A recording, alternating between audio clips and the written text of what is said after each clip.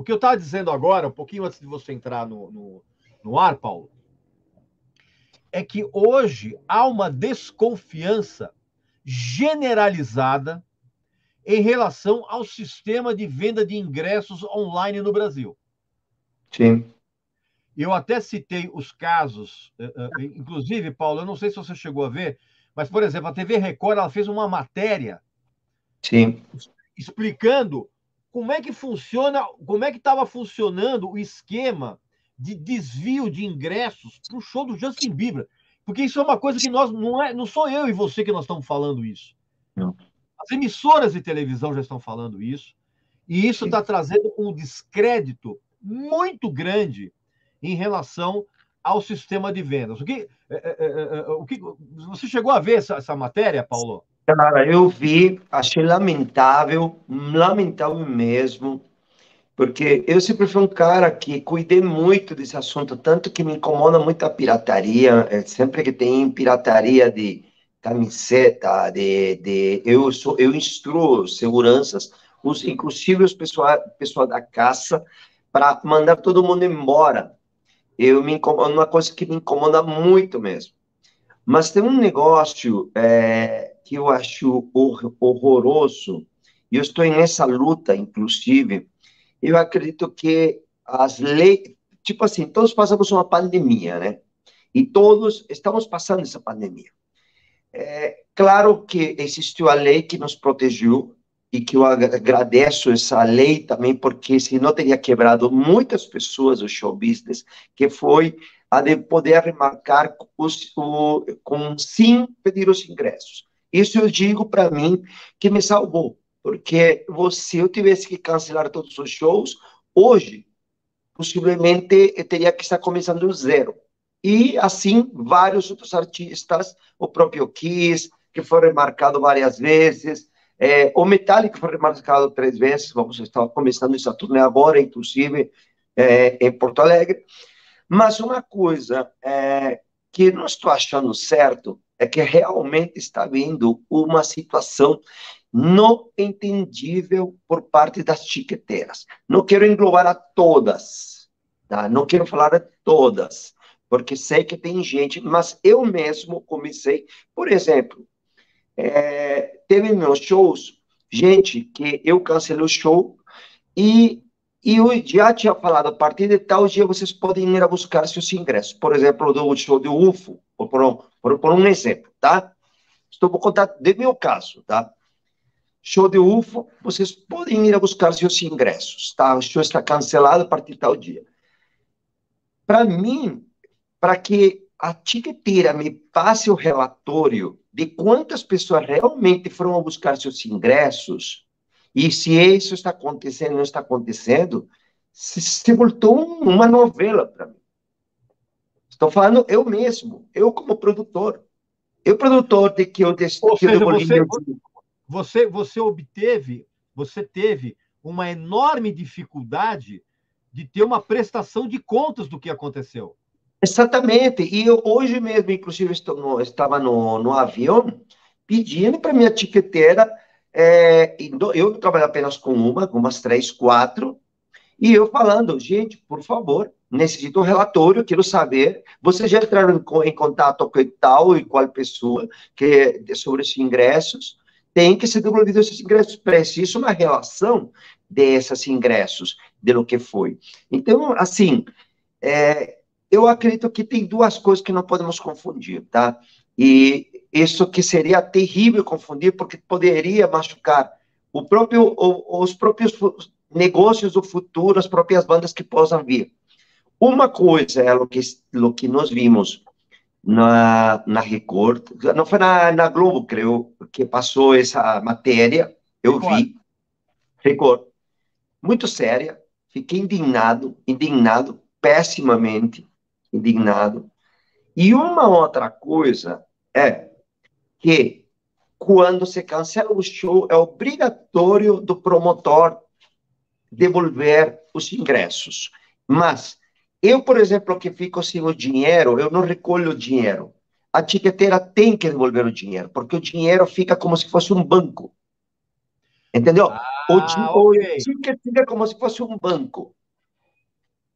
Em nas casas sérias, por exemplo, Tom Brasil, hoje é Tokyo Marina Hall, por exemplo, funciona dessa maneira. O dinheiro fica aí e o promotor não pode tocar esse dinheiro. Você vai e tem que, é, tipo, cancela como se tivesse um banco. Eu só recebo meu dinheiro é, 48 horas depois.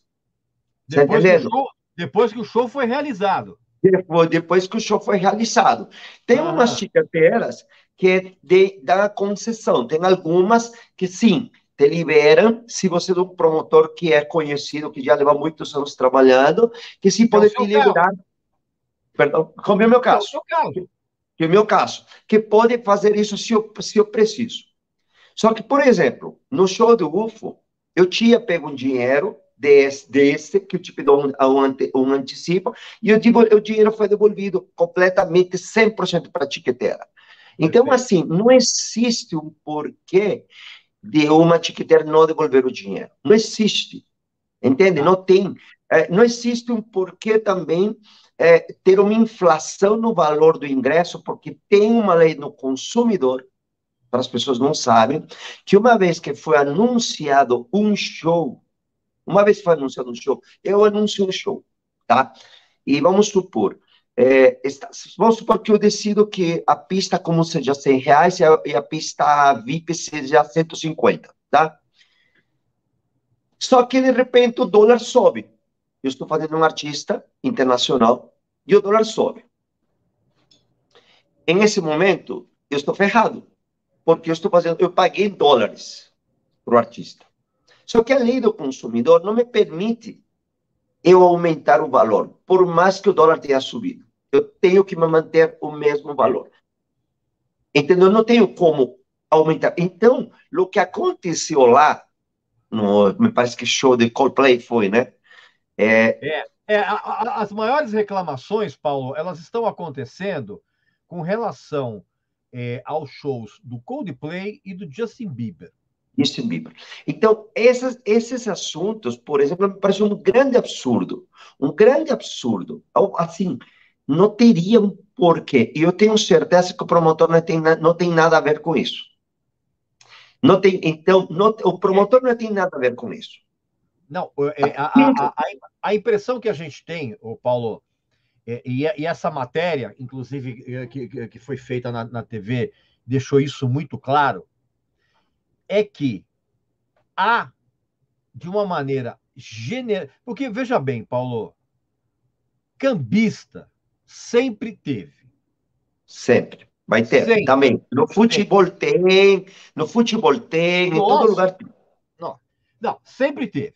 Só que, de uns, de uns anos para cá, a gente tem notado que o cambista não é mais aquele cara, aquele, o que a gente diz no jargão, aquele peixe pequenininho, que é o cara que compra um, um determinado volume, ele compra um, um volume de ingressos e revende esse ingresso com um preço maior.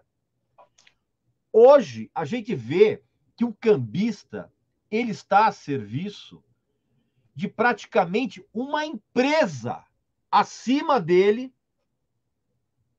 que coordena uma imensa equipe de cambistas para vender ingressos majorados.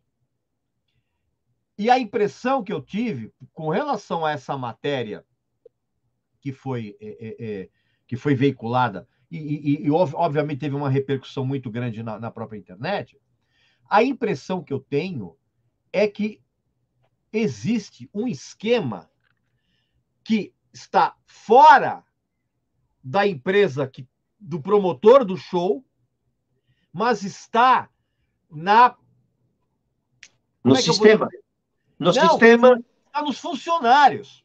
Sim, no sistema. de bilheteria do sistema que vai e termina, porque assim. Eh, seria muito, se vocês me permitem, antes de começarmos com as perguntas, e depois seria muito interessante escutar algumas perguntas, seria o seguinte: entender como funciona o sistema do show business, tá? O promotor, é diferente do empresário, tá? O promotor, ele compra um show ou uma turnê. E, essa, e ele vende esse, esse show eh, para vocês, para o fã, ou para eu também, se eu quero ir a um show, pensando em quanto que vai custar toda a sua produção. O artista, como primeiro, o topo, depois, quanto vai custar sua produção, aluguel de estádio ou casa de show, quanto ele vai pagar de impostos, quanto vai pagar de meia entrada, todos os tipos, quanto vai gastar de segurança, de limpeza, tudo o que insiste, porque vocês acreditem, termina o show, promotor, ele tem que deixar tudo limpo, também existe essa história, tem que deixar tudo limpo e, se, e, ele, e ele termina pagando se, é quebra, se você quebra alguma coisa, por exemplo, um estádio ou uma casa de shows. Tá? Uma vez feita esta situação, você tem uma margem de ganho. É como se fosse, voltando ao sistema manco, você tem um ganho, às vezes, é, nunca, nunca, muito raro, que passe dos 25%. Então, quando você compra um artista internacional, e o dólar sobe, como aconteceu, por exemplo, eu acredito que deve ter acontecido com o Kiss. O promotor, aliás, meu amigo José Bonino Neto, um dos melhores produtores e promotores que já teve esse país, muito sério, ele compra um artista, possivelmente a dólar a 3,70, e quando termina a turnê, ele já está a 5 reais a turnê ele, se ele tinha um 25% de ganho, que, porque é um show de estádio é muito 25%, ninguém, normalmente em show de estádio você ganha 10, 15%. E principalmente tem esses grandes medalhões, sabe? Artistas no caso, como do, no, caso do, do, no caso específico do Coldplay e do Justin Bieber, o, o, o Paulo, é, seria esse a margem, a margem de lucro é, é, é, é 15%, é isso? Entre 15% 10%, porque, é, porque o artista já sabe que vai ganhar e normalmente ele coloca de algum valor, são valores muito altos, estamos falando de milhões, tá? É. De milhões. Então, quando ele passa de valor, aí que começa a cair a situação. Então, o promotor, normalmente, ele não tem esse problema. Então, por exemplo, o Metallica está com show de, com ingressos esgotados em várias cidades. Só que ele já comprou o show em um valor alto. E hoje, possivelmente, ele vai empatar mesmo tendo show sold out.